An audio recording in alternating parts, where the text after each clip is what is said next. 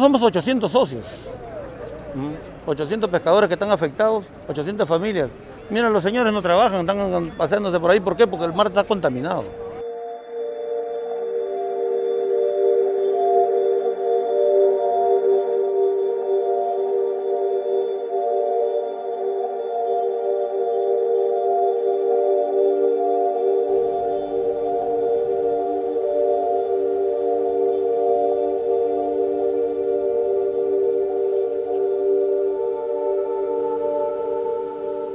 Estamos en uno de los lugares más afectados por el derrame de petróleo ocurrido hace pocos días, que ha significado el desastre ecológico más preocupante de la costa peruana de los últimos tiempos.